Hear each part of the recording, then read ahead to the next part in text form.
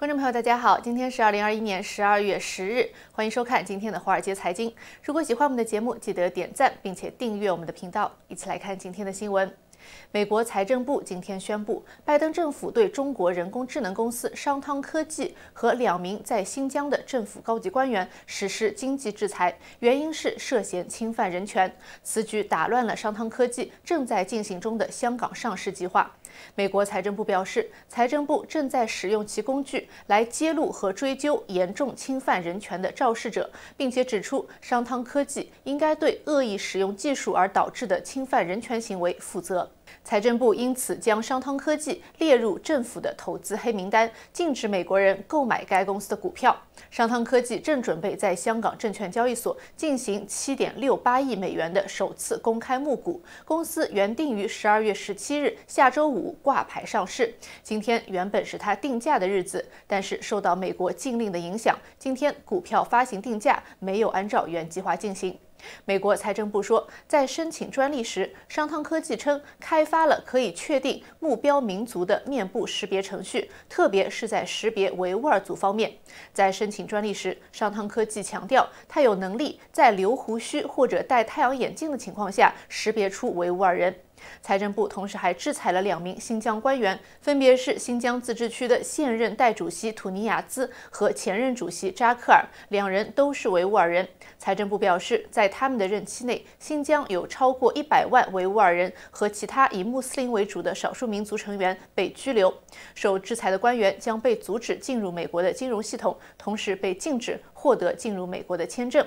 今天宣布的制裁名单还包括新疆生产建设兵团、新疆公安厅以及新疆的党委书记陈全国。成立七年的商汤科技是世界上最大的且估值最高的人脸识别和计算机视觉公司之一。它通过销售软件来赚钱，这些软件被政府和企业用于智能城市、监控和自动驾驶等应用。二零一九年十月，位于北京的一家商汤科技的子公司已经被列入美国出口的黑名单，因为它参与了新疆地区的少数民族镇压活动。商汤科技在此次的上市招股书中承认，美国是一个重大风险，可能会限制该公司购买某些技术、软件和零部件的能力。中国科技公司已经受到拜登政府越来越严格的审查，因为他们被指控在帮助北京执行新疆镇压方面发挥了作用。人权团体、分析人士和美国政府对人工智能、人脸识别和其他生物识别工具等尖端技术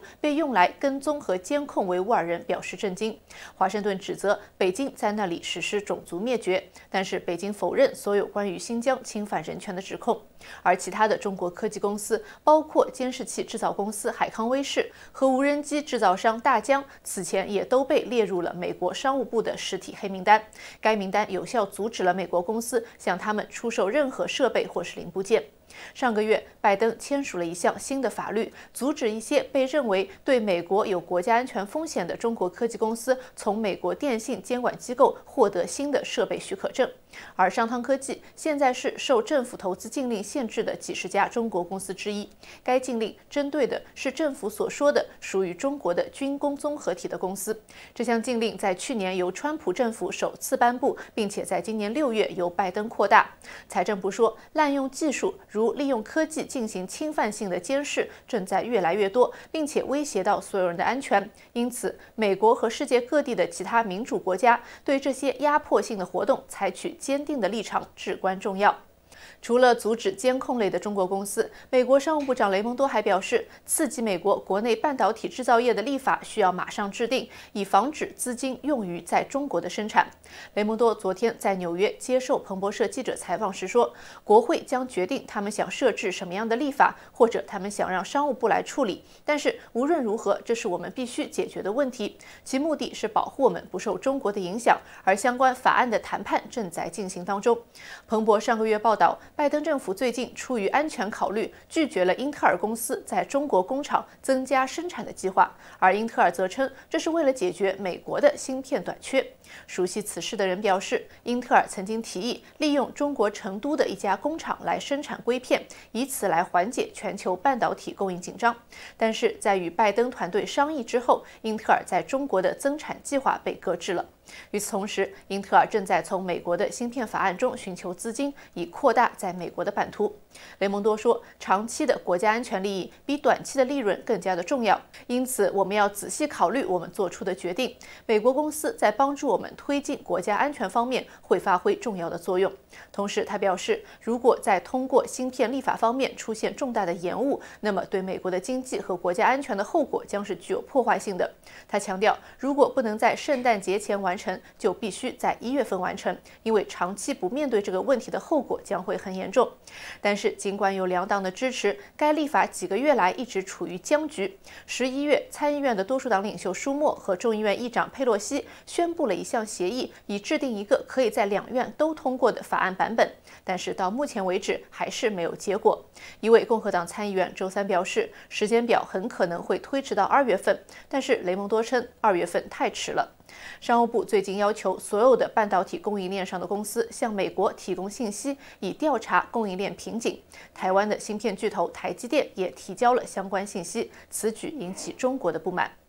自从美国和中国之间的贸易战开始以来，投资者一直在试图衡量中美将在多大程度上脱钩。刚在美国上市半年的滴滴被要求从纽约退市。然而，不要以为习近平在寻求金融独立，因为与此同时，北京正忙着欢迎华尔街的投行进入大陆的金融体系。不希望中国公司去海外上市，又希望吸引外资来到中国。北京正在推行一种不对称的脱钩战略，那就是减少对西方的依赖，同时希望增加西方对中国的依赖。十几年前，当第一家中国公司于1993年在纽约上市时，跨境上市得到了北京当局的支持。当局承认美国市场有更加成熟的投资者和更好的公司治理。内地监管机构甚至对可变利益实体，也就是 VIE 都视而不见，这使得大量的中国科技公司赴美上市。但是在过去的两年里，人们的情绪已经发生了变化。二零一九年，在纽约上市的阿里巴巴就寻求在香港二次上市，据说是因为它受到了中国网络空间管理局的压力，要求其转移上市地点。因为北京已经看到了美国要求中国公司披露审计细节的风险，但是它并没有切断与全球金融的联系。相反，它正在不断地开放大陆市场，邀请西方的银行、保险公司和基金经理进入中国。许多华尔街公司都获得了新的许可证，并且正在扩大中国的业务。自2019年以来，摩根大通对中国的跨境风险敞口已经增加了百分之九。外国证券投资者持有的股票和债券，在过去的三年几乎翻了一番，达到了十一万亿美元。二零二一年的前九个月，仍有超过一千亿美元流入大陆市场。中国希望它能同时拥有两个世界的优点，既获得全球的资金和技术，又在其直接监管之下。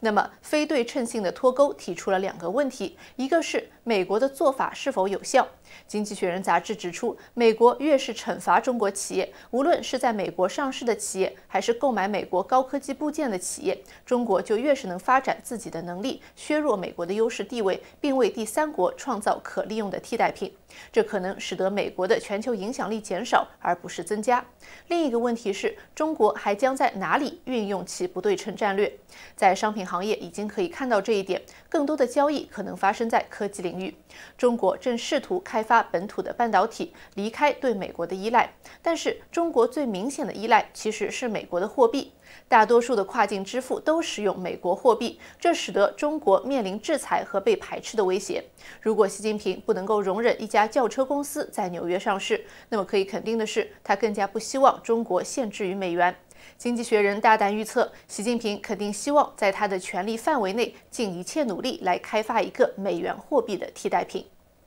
北京冬奥会除了面临各国的外交抵制之外，还有一大难题，那就是所有的运动员和官员在航班大量减少的情况下，如何来到中国？北京奥委会主任张良今天表示，由于疫情导致常规客运航班的减少，确保参赛者顺利抵达成为了每个人的关注焦点。组委会和民航部门已经确定了以包机和临时航班为主，商业航班为辅的原则。他说，已经有十七家国内外航空公司。司签署了提供临时航班的协议，每天有十五个进港航班从全球十几个枢纽出发，还有十三个出港航班。航班计划已经得到确认，航班时间表也已经公布。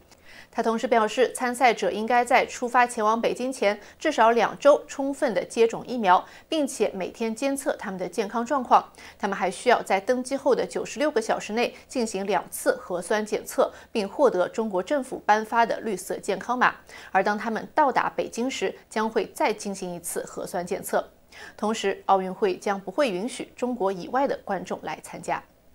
以上就是今天节目的全部内容，感谢收看，我们下期节目再见。